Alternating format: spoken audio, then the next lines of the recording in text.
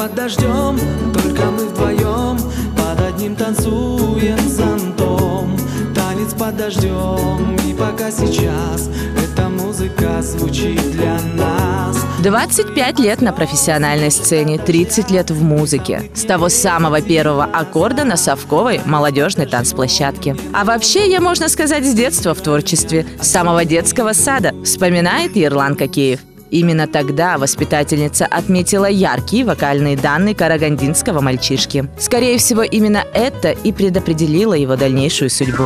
Где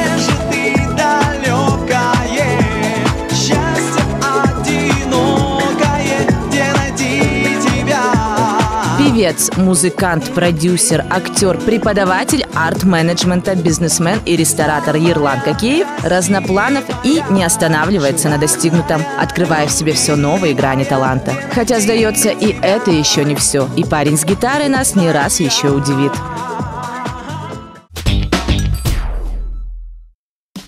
Этот гость теперь зовется жителем Астаны, хотя надеемся, что он вернется в южную столицу. Встречаем известный музыкант, лидер группы К7, экс-вокалист популярной в 90-е группы АБК Ерлан Кокеев.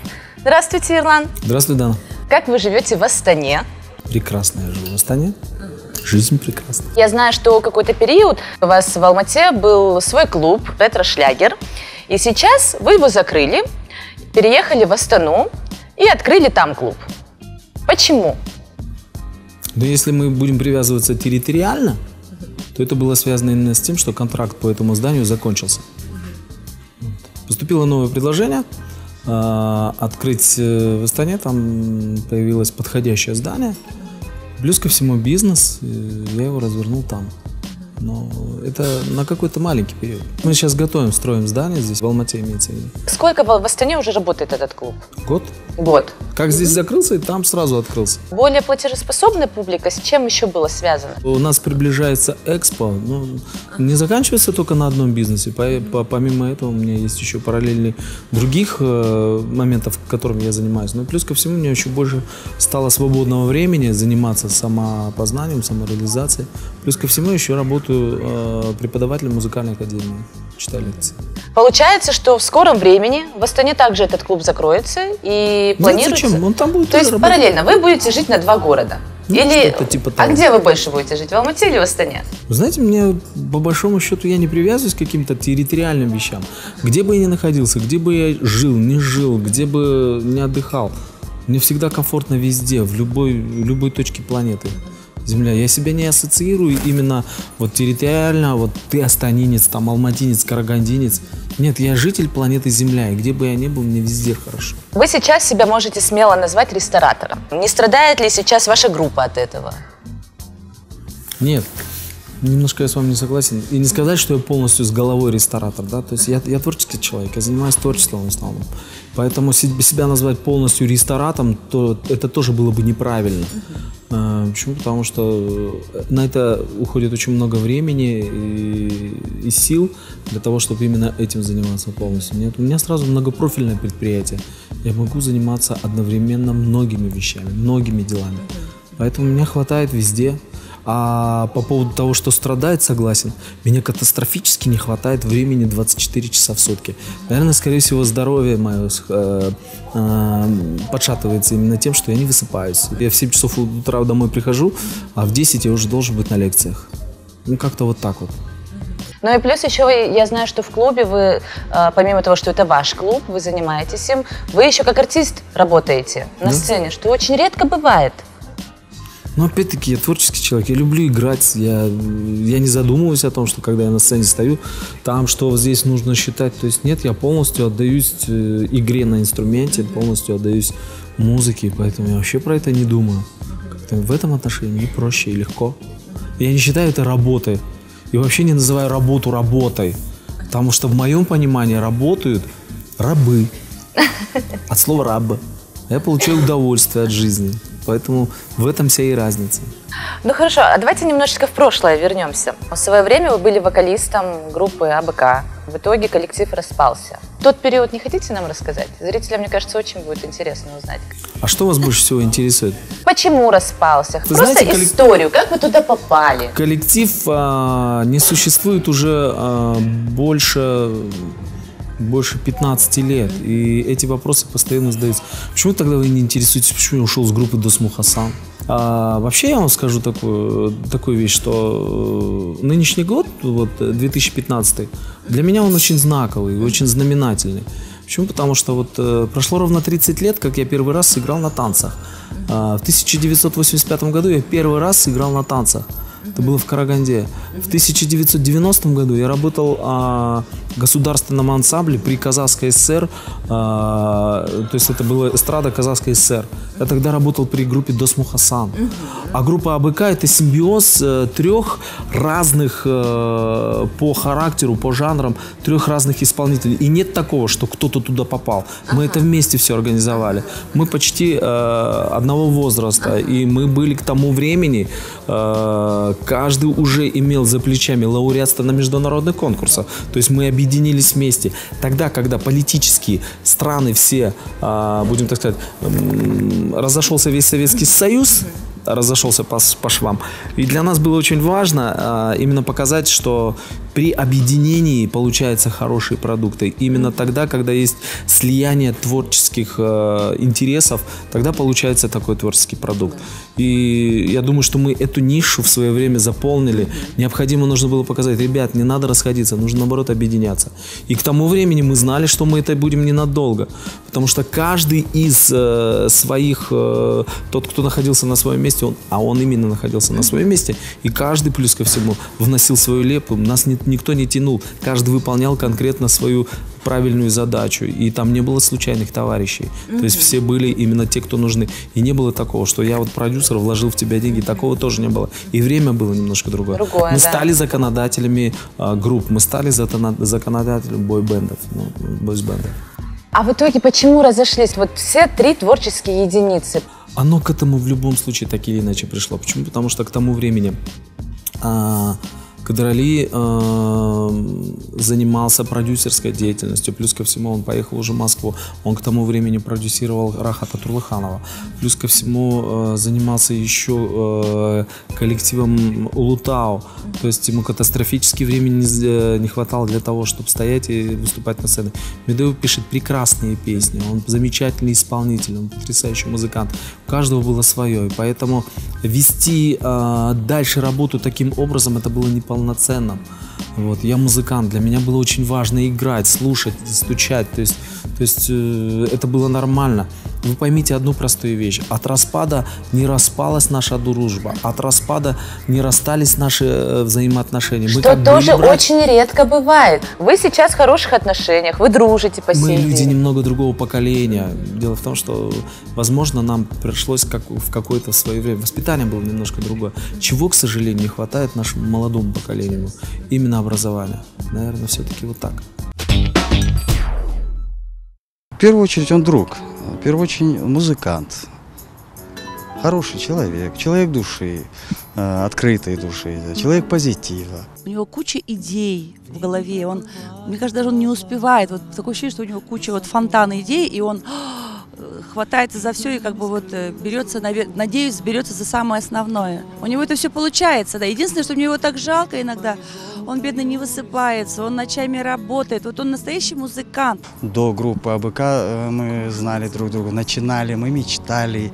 э, Первые песни мы радовались друг другу, переживали за друг друга, за, за- за- на выступлениях, на жасханатах, на Зидаусе. От него исходила хорошая энергетика. Вот эта вот любовь, наверное, к творчеству, да, заставляет его двигаться по жизни и не просто сидеть, вот как некоторые творческие люди, просто вот я сочинил песню, я вот или там вот сижу, жду, там, когда кто-то придет и меня заметит. Вот такого у него нету. Человек, который все сам делает. Ерлан Кукеев – это тот, кто болеет за свое дело. Тот, кто именно где-то в какой-то мере, может, с фанатизмом даже к этому относится, вот, вкладывает себя полностью, целиком. И самое интересное, что у него довольно-таки широкий кругозор, и он а, не забывает о будущем, о подрастающем поколении и постоянно поддерживает молодых начинающих артистов. Верный э, музыкант в своей стилистике, он по сей день я, я, меня радует, я за него горжусь и радуюсь за него. Он всегда э, держится за свою хорошую музыку. Он не такой, может быть, разноплановый музыкант, но он в своем э, в стилистике, джаз-роке, он по сей день строго соблюдает этот. Насколько он любит свои гитары, это вот, вот вы просто не представляете. Для него покупка какой-нибудь гитары, а, а он простые гитары не покупает, он покупает какие-то с историей, какие-то с какой-то биографией гитару он потом носится с этой гитарой, он так хвастается, он ночами сидит, играет. Я думаю, это настоящий музыкант. Это АБК, да, понятно, что как бы все три участника, это три большие личности, но на тот момент, мне кажется, они воспринимались именно цельно. А, став двигаться самостоятельно, как бы он тоже обрел свою стезю, наверное, так. Ну, был момент, конечно, когда он уходил, э, что-то непонятно. Вот, вот я же говорю, что он что-то взялся, э, не обдумав, ушел из АБК, не посоветовавшись с нами, не, заяв, не заявляя.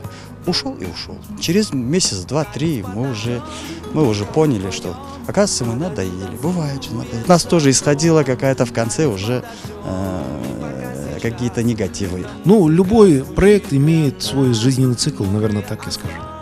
Поэтому, э, возможно, как бы на тот момент это было нормальное и правильное решение. А на сегодняшний день э, бренд Ерлан Кукеев – это отдельно обособленный настоящий бренд, который никто ничем не затмит, никакими группами, никакими названиями. Человек э, сам сделал себя. Каждый месяц перезваниваемся, какие-то новые проекты обсуждаем, что можно сделать для того, чтобы как бы вдохнуть новую жизнь в тот или иной проект, как бы задать новый тренд э, в нашей казахстанской отечественной музыке. Он никогда не забывает друзей, всегда на какие-то праздники. По сей день, э, по, по сей день он на каких-то праздниках он поздравляет, от него это всегда исходит вот такая энергетика. Не было такого настроения, что у Ирлана да так тебе, там она, она всегда все хорошо, всегда отлично. Может быть, у нее за душой что-то э, что скрывает, но это он никогда не показывает. Но иногда бывает у него слабинку, конечно, он как, как ребенок бывает. Человек души, я говорю, э, он поверит в чудо. Бывают же такие люди. Он такой, на мой взгляд. Общаясь с, э, с другими музыкантами, всеми, кто крутится в нашем казахстанском шоу-бизнесе. Все о Ерлане Кукиева отзываются только в положительных тонах. А вы откуда родом, Ерлан? С Караганды. Во сколько лет вы переехали в Алмату? Когда мне было 19 лет, у меня стоял выбор поехать в Москву или поехать в Алмату. То есть меня пригласили в государственный ансамбль в Дос Мухасан. Я к тому времени попал работать в группу Дос Мухасан. Для меня это очень значимо, для меня это очень ценно. И я больше хочу сказать, я очень благодарен тем людям, которые мне смогли к тому времени создать эту почву. Мурат Кусаинова для меня э, как отец, э, он отец вообще, можно сказать, казахстанской музыки. Это большой человек, это большая личность, это глыба, мастодон, динозавр, как хотите называть. Да? я очень благодарен э, ему, его семье, Сабиритате. Я у них дома жил, ел их хлеб, я это никогда не забуду. А у вас есть братья, сестры в Карагаде? Нас в семье двое. У меня есть еще младший мой брат, его зовут Нурлан. Ну, там, где Ирлан, там и Нурлан.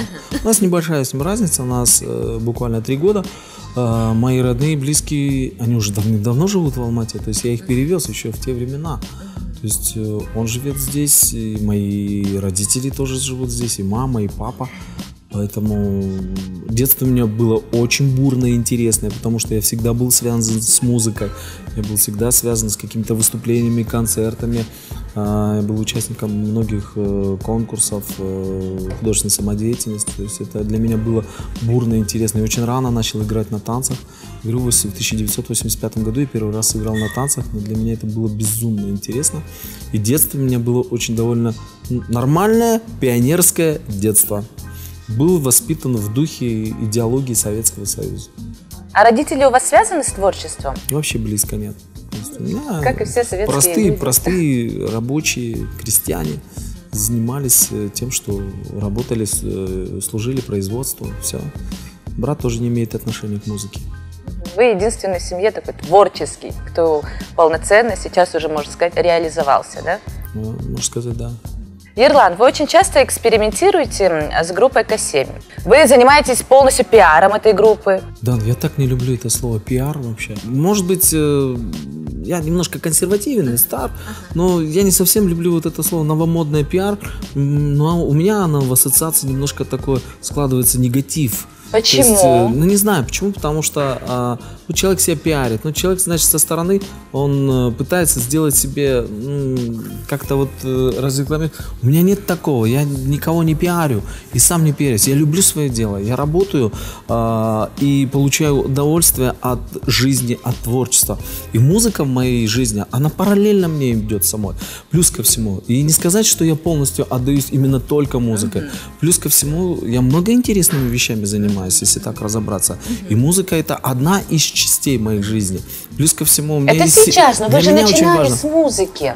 Согласен. У меня сейчас, к примеру, скажем, есть другие приоритеты в жизни. У меня семья очень большая, у меня дети, я отдаюсь. У меня есть мои студенты, мои любимые. Плюс ко всему есть увлечения очень много разных. Я не знаю, почему у вас это вызывает такое, такие негативные ассоциации, все, что связано с пиаром. Но пиар сейчас в наше время для артистов и вообще для любого продукта, но это необходимость. Может быть, для кого-то надо, лично мне это не надо. Вы снимаете клип, совместный дуэт с кем-либо. Ставим на ротацию. Это тот же пиар. Ну, пусть будет, мы, может Это быть, одно слово называем, вернее, одно понятие называем разными словами. Хорошо, назовите, как это вы будет. называете. Но раньше же не было этого слова. Может быть, я опять-таки, я прошу прощения, может быть, я немножко консервативен и нафталиновый э, в плане того, что мне сложно, чуждо это слово принять. Раньше также не было слова А, шоу-бизнес. опять-таки, это слишком громко связано. Что в вашем понимании шоу-бизнес? А вы считаете, что в Казахстане нет шоу-бизнеса? Это очень сложно сказать, вопрос двоякий. А как вы считаете? Я считаю, что в Казахстане есть шоу-бизнес. Уровень шоу-бизнеса, он может быть другой. Не такой, как на Западе, не такой, как в России. Но отрицать то, что нет шоу-бизнеса в Казахстане, ну, я считаю, что это будет очень смело. Конечно, у нас есть разные разветвления. Есть той-бизнес, да, но неужели вы считаете, что в Казахстане нет На шоу-бизнеса? все сто процентов той бизнес. Нет у нас этого, если по большому счету сказать. Мгм. Давайте посмотрим. Ага, в вашем давайте. понимании. Ну, кто у нас, э, предположим, назовите несколько имен. Группа Рингу. Это вы считаете той-бизнес? Вы знаете, даже не от них зависит. Они очень талантливые ребята, и я их очень люблю. Но предпосылки для платформы работать в этом направлении, а, будем так сказать, желают лучшего. Почему? Потому что в моем понимании, если человек профессионально как артист работает, то есть это необходимы концертные площадки. У нас инфраструктуры нет для развития именно, именно как понимание шоу-бизнеса. Давайте посмотрим. Сколько у нас есть концертных залов? Раз-два. И вы это знаете. Но это не говорит о том, что его нет. Я, говорю, я изначально сказала, что уровень шоу-бизнеса, он разный. есть. Но да. опять-таки, ну Но давайте... тем не менее у нас проводятся не бу- давайте не будем премии. тягаться с мировым. Давайте не будем Ну, с- тягаться. хорошо, с российским. Ну, Не- вот в сравнении с российским, Вот хорошо. не путать Гогеля с Гегелем, это очень важно. По одной простой причине. Есть понимание, э, талантливый артист, музыкант, и, и нет возможности для работы, предположим, скажем, у нас не налажена именно вот эта часть культуры, инфраструктуры, административная часть. В купе они в целом дают понимание шоу-бизнеса, но у нас именно какие-то вещи работают, какие-то вещи не работают. Это необходимо строить всю сеть. Вот, предположим, скажем, мы строим дом, в нем должны быть необходимые там а, вещи, такие как фундамент, проведение соцкоммуникации, Конечно, прочее, пятое, десятое. Но у нас не работает на сегодняшний день, к сожалению. Ну хорошо, вы говорите, что у нас это. есть стопроцентный той бизнес. Ну, а что А делать? вы считаете, что группа К7 это чистый Конкретно. той бизнес? А что нам приходится делать? Вот, предположим, скажем, почему я открыл ресторан, почему? А где мне выступать? Где? Каждый раз выступать э, во Дворце Республики? Той бизнес вы считаете, что а, в основном это, это мероприятия, частные мероприятия, корпоративы. Казахшайт Канда, Малжок, куда идти? Мы и поем на свадьбах. Ну, вы слишком громко заявляете, и я с вами не согласен. Поэтому Это нужно в корне строить целую систему. Ты говоришь э, про группы, например, да, вот те же коллективы. Но это же все причесывается на студии, делается, правильно? А давайте так про выступления. Вот э, я ничего против не хочу сказать. Я Алуашку люблю, группу Рингу люблю. Но чтобы полноценно этот коллектив работал, а они могут так работать, я знаю. Это нужно, чтобы сзади стояла банда, чтобы сзади стоял оркестр, барабаны. Все это было прописано, все это играло, стоял бэк-вокал. Когда стоит звук, когда коммуникации все подведены, вот это разговора нет. Конечно. Но они сегодняшний день, ну взяли фонограмму, рот открыт. Ладно, они не под фонограмму поют, они живьем поют. Но тем не менее, это же все Как раз таки сейчас артисты, они уходят от фонограммы. Сейчас очень многие артисты поют вживую. Хорошо, что нужно сделать, чтобы сейчас поменять э, в целом понимание той бизнес, чтобы его не было? Э, Мне кажется, это наказание для нас всех. То есть на сегодняшний день это сделать непросто. Почему? Потому что оно не решается именно вот каким-то местечковым таким пониманием. Почему? Потому что это необходимо принимать законодательно. Это, на это должны работать законы. На это должны быть наши люди, которые э, защищают интересов артистов. Предположим, далеко ходить не нужно. Многие из наших коллег, да, из нашего цеха попадали какие-то не совсем приятные ситуации, да, вот предположим, скажем, там, с транспортом. Нет ни одного, к примеру, скажем, там, в парламенте человека весомого, который бы сказал, подождите, ребята, на самом деле это не так. То есть это нет. На сегодняшний день, к сожалению, культура находится просто в отстое, и она никому не нужна. К сожалению. То есть это нужно решать на И, и нашим уровне. артистам, которые сегодня занимаются это, это пионеры. Их просто нужно ценить. Вот тех же группы Ринго, вот всех, кто, кто занимается, можно сказать, что они называют, э, занимаются на сегодняшний день юношеским максимализмом. Это именно та часть категории людей, которые держат культуру, на чем это и держится. А так, по сути дела, они никому не нужны. А вы бы могли сами этим заниматься? Вот если, допустим, вам сейчас скажут, Ерлан, полностью вот вам бразды правления в этой сфере, что вы сделаете в первую очередь? Я бы не занимался. А почему? Это не мое. Каждый должен делать свое дело. Кто тогда будет развивать? То есть там должен сидеть человек, который как минимум знает эту кухню, знает проблемы, что нужно, в каком направлении это нужно развивать. Вы в этой сфере очень много лет. Я считаю, что вы один из первых основателей есть вообще еще другие люди, эстрады. которые в этом разбираются. Есть экономисты, есть идеологи, есть маркетологи. Ну, То есть на это уже есть, набирается команда. есть еще часть людей, которые именно могли бы это структурно все грамотно поставить. Ну, лично я бы этим не занимался. Зачем? У меня есть свое. Я, я рисую картины, я пишу стихи. Каждому свое, понимаете? Ну, понятно. Вы А любите свое дело, вы делаете его. Но я знаю, что я не буду, не буду это делать, потому что это не мое. Каждый должен свой повар варит, музыкант Ну, а в играет. итоге тогда так и будет все стоять на этом уровне. Так давайте ничего и не будет давайте честно будем говорить. Давайте честно будем говорить. Поэтому хочется сказать всем нашим братьям и коллегам большое спасибо за то, что они есть, за то, что они поддерживают казахстанскую эстраду. Я им благодарен очень. И поэтому то, что они делают, они заслуживают э, большого внимания, заслуживают большого уважения. Каждый из них. По сути дела, а, давайте разберемся. Они деньги вкладывают сами, сами. Они песни находят сами, сами. У нас худо-бедно как-то вообще, просто поражаюсь, как это все еще у нас живет и дышит. Жалко, конечно, но, к сожалению. В начале 2000-х уровень был выше, нежели чем сейчас. Но для меня 2000 2015 я грани не вижу. У меня есть четкое понимание.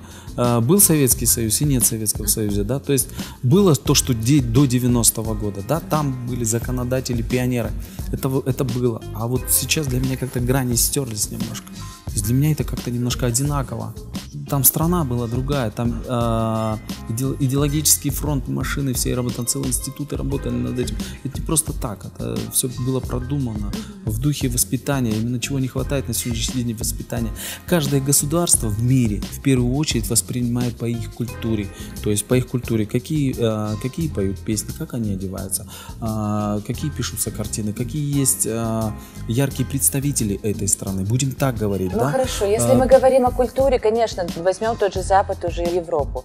А, Культура строилась э, веками.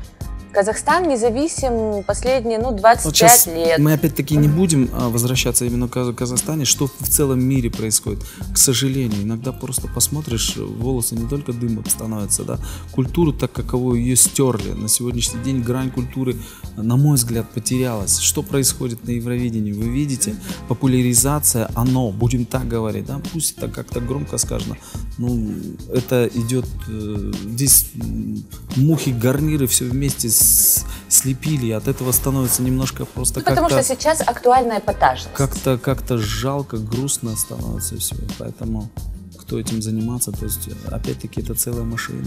Она жрет. А какой конкурс вы считаете на данный момент, если брать весь мир, самым честным? Не знаю, мне очень сложно сказать.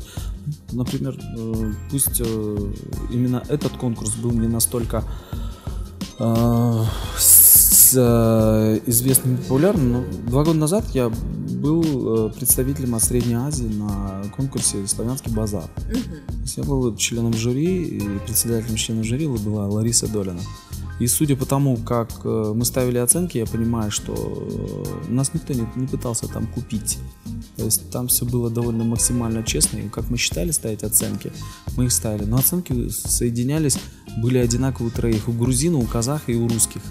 Вот так получалось. Я не знаю, мы сидели в разных местах, но оценки ставили одинаковые. И не было такого. Хотя между там закулисными какими, какие-то там происходят непонятные штучки. Ну, не знаю, опять-таки, мне сложно сказать, я же этого не видел, я же этого не знаю, на каких конкурсах что как происходит. Но в любом случае, мне кажется, так или иначе защищаются какие-то интересы, интересы государства, политика. Страшно, когда связывают культуру с политикой, страшно, когда культуру смеш- см- смешивают с деньгами. Это, ну, ну а что, мир такой. То есть об этом уже и до нашего с вами рождения писалось во многих священных книгах. Казахстанский певец, звезда нашей эстрады. Раньше он пел в группе АБК. Ну, это самая знаменитая группа, это считают. Троица такая, которую все знали. Ну и сейчас они успешные. На данный момент по- эта группа, по-моему, распалась. Каждый нашел свою нишу. Это э, Хадрали Балманов, по-моему, рядом с ними были. И еще кто-то был. М- Меду Арнбаев. А сейчас он как бы сольный певец, наверное. Он очень мне нравится, его композиции, как он поет, как он ведет себя на сцене. Но все-таки он мне больше нравился в группе АБК. Ну, в прошлом был хит «Танец под дождем». Вот мы все под эту песню танцевали, первый вальс, как говорится. Вот. Очень хороший певец, и эта песня мне очень нравится. У него там такая песня была. Тереземді ормандаршы тамшылар да примерно такая Когда он был в составе группы АБК, тогда у них побольше хи- хитов было. В последнее время что-то он пропал со сцены. Сейчас я ни одного хита его пока не слышала. у него там еще была группа своя К7 Я думаю, он как-то немножко потерял доверие зрителя, не знаю, мне кажется. Особенно в группе К7. Она такая была проходная. Там больше кабачниками они стали. В городе Алмате был ретро-клуб. Это Кукеева. Я думаю, это возраст. Ему надо было или на- продюсирование ид- идти, как вот, допустим, Аранбаев и этот, ну, второй, а, Хадраль Балманов. А он больше, у него молодость осталась, и он, то есть, как на сцене, еще не повзрослел. Сейчас этот клуб закрылся. Я мимо проезжаю, вижу. На том месте, по крайней мере, его нет. По-моему, в Астане сейчас. Где сейчас Ерлан Кукеев, даже не знаю. Я знаю вашу а, супругу, замечательную Анару. Ваша пара, она является такой идеальной. Вы друзья, она ваш соратник. Это вот изначально пошло или это пришло в последующем? Ну ничего не бывает в этом мире идеально. Наш мир не идеален. И поэтому мы же с вами для чего-то родились на Земле. Наверное, родились для чего-то. И рано или поздно мы с вами умрем. И ты умрешь, и я умру. Правильно? Давай честно. Конечно. подходить. Есть этапа, этап какого-то времени, в котором мы с вами находимся. В временном пространстве. Поэтому идеальной модели не бывает. Ты- ты- это был бы рай тогда, если уж на то Вот. пошло. Я подписана на вас в Инстаграме, я подписана на Анару в Инстаграме. Создается ка- картинка идеальной семейной пары. Может быть, это тоже грамотный пиар, то слово, которое вы так не любите. Ну, вы знаете, я не такой, какой вы думали. Я есть, какой я есть. И даже если вы задумали, меня не нужно жечь. Я не такой, какой вы знаете, не такой, как знаю я. Ведь ты другое дерево, и не нужны слова. Я к чему? Я к тому, что э, гнаться за тем, чтобы делать показуху какую-то. То есть лично у меня этого нет. Вот какой я есть, такой я есть. И в нашей семье тоже как есть, так есть. Ну, естественно, мы 20 лет уже вместе. Но за 20 лет можно было, наверное, привыкнуть друг к другу, да? То есть мы нашли какие-то друг другу ямки, какие-то канавки и смогли приспособиться друг к другу. И есть, конечно, один секрет. Я могу его вам рассказать, если вам Расскажите. интересно. Очень интересно. Ну, попробуй- попробуйте его попрактиковать. Я бы очень был бы рад, если этот совет был бы кому-то в чьей-то семье полезен. Да, то Слушаем есть э, нужно перестать якать. Я вот так сделал, а ты такая. А я вот такой, а ты такая.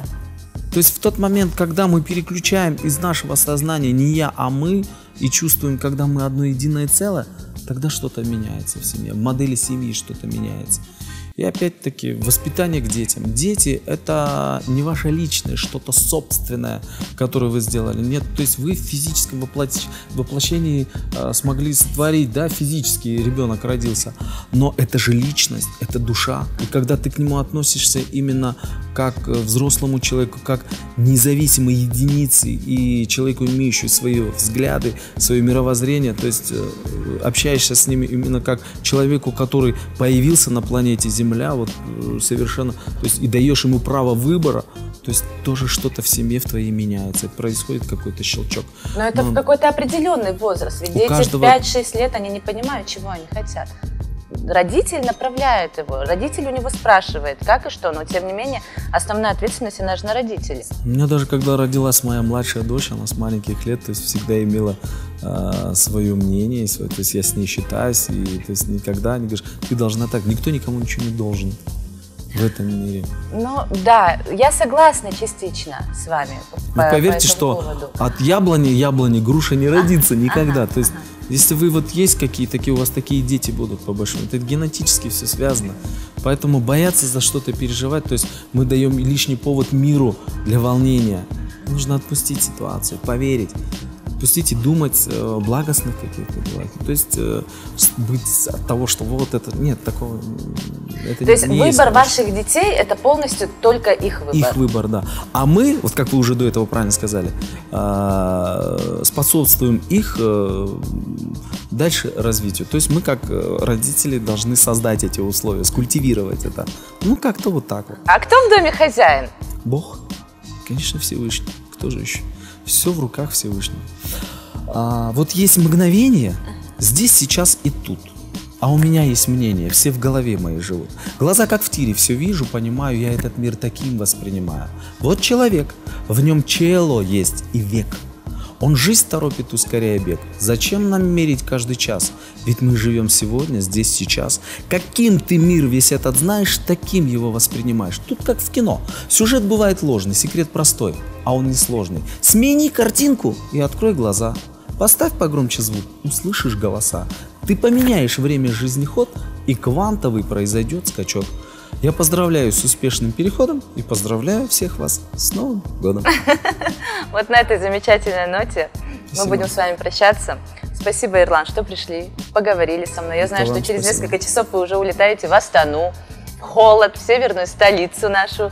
А, Спасибо большое, и я очень надеюсь, что мы будем почаще видеться в Алмате и будем с удовольствием посещать ваш новый ресторан. Спасибо. Спасибо.